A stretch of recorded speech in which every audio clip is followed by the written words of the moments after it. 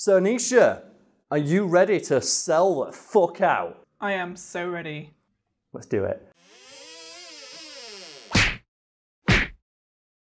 So, if you're watching this within a few days of it going live, a couple of days ago we had a sponsored video, uh, sponsored by the people who made the clothing I am now wearing. And those guys were so nice that I've decided to make an extra video they're not paying for, um, just using some research they did that we did not use for the sponsor plug of just cool figures from Japanese history. Um, so if you're at all interested uh, in anything that I'm wearing, um, I'm really sorry if I'm not doing it justice. This does not go with my skin tone Nisha. I'm wearing like baby blue with pink on it and then a white hoodie over the top. I look so bright in the like the, the preview on the video clip. Like, I tried to wear the beanie earlier. There's a beanie here as well, but I put it on like vanilla ice. I was like, I can't have it. I don't want that screenshot floating around. I'm really sorry. At least you'll be easy to edit around with the green oh, screen. Oh yeah, just key around me instantly. Right, it's a cool company, Saikou Apparel, run by a fellow YouTuber who's a really nice guy and has personally promised to buy me a pint, which means I'm forever indebted to him until I get that pint. But Nisha, without further ado, do you want to hear about some cool figures from Japanese history? They researched for me. Definitely. Go for it. Okay, we're going to start with. Oh god, I just realised my pronunciation is going to be so bad for this. Oh god, no. It's a good job they're not paying for it, innit? So we got the first one on the list is Mochizuki Chiyome, who's a female ninja. So already off to the strongest start. So I fucking love Ayane and Tenshu. Let's go, baby. Who made a 300 strong female only ninja clan out of orphans, prostitutes, and battered wives. Why is that not a movie? So basically, this video is just free movie ideas for Hollywood so far. I'd watch that movie. I'd watch that anime. I'd watch that. Get get the guys who made One Punch Man to make that shit. Especially in today's climate, given the shit women have to deal with, I think we are owed just an immaculately edited series featuring a woman, um, Izuna dropping a shit man off a waterfall. Oh, that'd be so cool. It's just like, what is it about like ninjas are already fucking sick awesome, but it's like female ninja. Oh, I know this one. The next one is Yasuke uh, or Yasuke. Uh, I'm not sure how to pronounce that. Are you familiar with um, Yasuke at all, Nisha? I've heard the name before, I'm just not sure what the story is. Well, oddly enough, it's one of the most suggested things to talk about on the channel, uh, which is why we've not talked about it, because if it's being suggested by random fans, it's probably already too well known, but fuck it, it's listed here.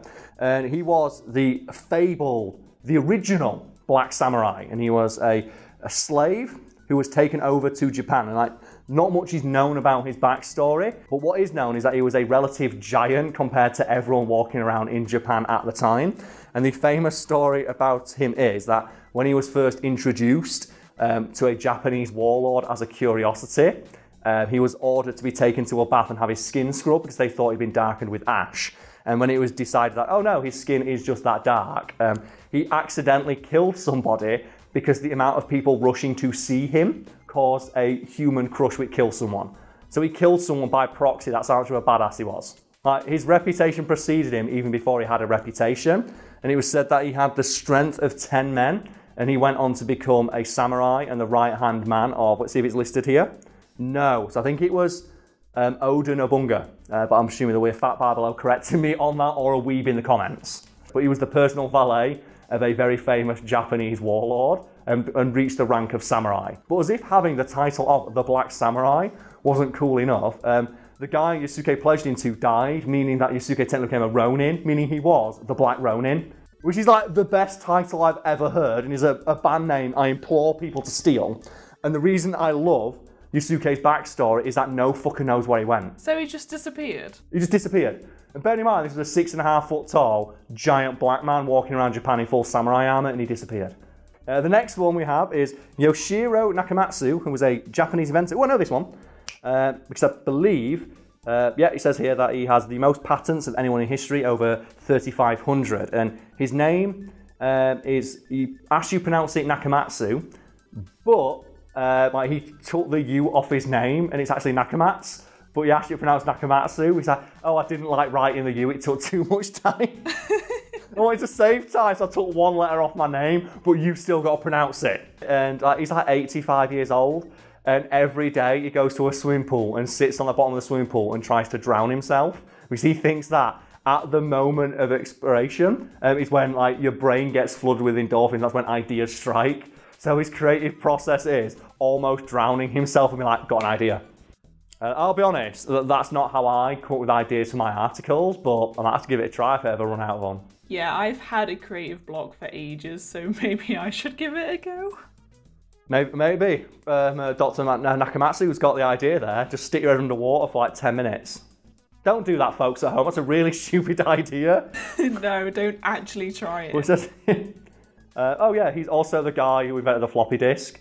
But in addition to inventing the floppy disk, he invented other less well known inventions, including a wig designed for self defense A and a wig? pen that works underwater. I believe it's a wig that you throw at people. That just makes it even funnier. I'm just imagining this sort of unpredictable weapon. So you, you get this wig thrown at you, and you're like, "What's this?" And then then it explodes. Yeah, and then he just punches you right in the fucking face and then says, Don't mess with Doki Nakamatsu. Uh, the next one we have is uh, Ishikawa uh, Goemon. Again, I'm really sorry if these pronunciations are butchered. I do not speak Japanese, it's not a language I'm all too familiar with. Oh, he was the Japanese Robin Hood. Oh, I remember this. Um, it says here he was uh, famously had a brutal execution. And his execution was that he was boiled alive in oil. But the reason this execution is so famous is because I think his son was also condemned to die with him by boiling in the oil. Was a huge cauldron. And what he did, being a fucking badass, was hold his son above the oil to save him. And they were so impressed by how badass he was that he was like doing like the Terminator 2, just sinking into this molten liquid that's searing off his flesh.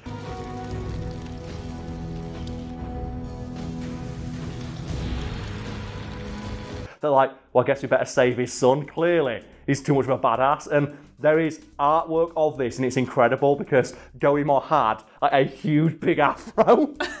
so you just see this giant ninja with an afro, just like holding someone out of boiling oil. And I like to think it's the other way around, and that's just how he arrived in rooms.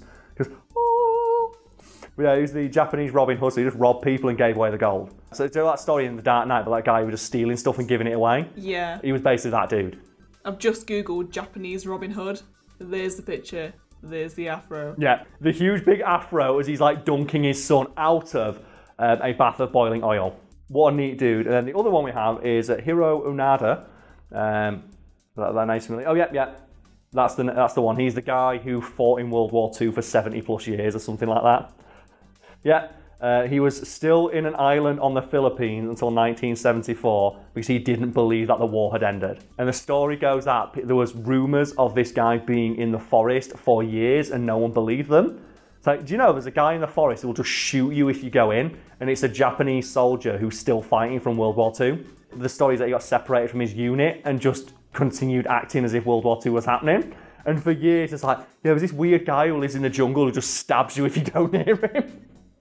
And they, they had to go get his original commanding officer, who was like in a retirement home, bring him into the Filipino jungle and just tell him, look, the war's over, you can come home. Fucking hell. So they waited 70 plus years to go tell him. Oh, God. Like, no one believed he was there.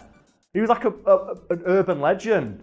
So there's just a, there's a crazy Japanese guy in the woods who stabs people. I won't believe that. Yeah, that's And then he was, he was real. And that was actually the entirety of the list they originally sent. They want me to read out at the end of the aforementioned sponsor video. But the reason I wanted to turn this into a full fledged focus is because Ross Boomsocks himself was just, he got so hype researching these people, he went out and did his own independent research to find more and sent along an additional list of people that he thought was super cool. So let's mention those as well, shall we?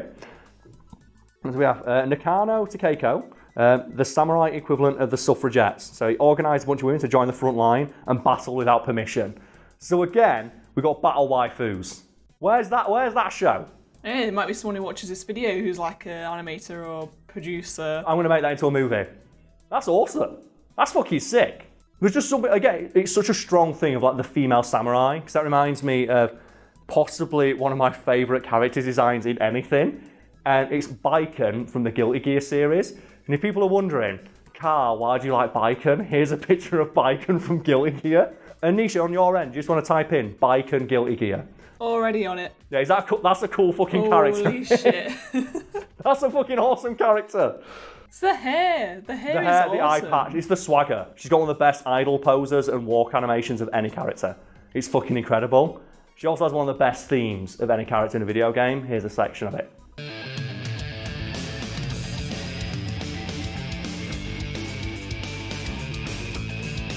Uh, speaking of which, we have Tomoe Gozen, a female warrior during the Genpei Civil War uh, in Japan in 1180, made a name in medieval times for her beauty, strength, and skill in battle. During a single battle, collected the heads of seven different mounted warriors on her own. Ooh, that's badass. So during one battle, personally went out and cut seven people's heads off, and those people were riding horses, meaning they were about 12 foot above her.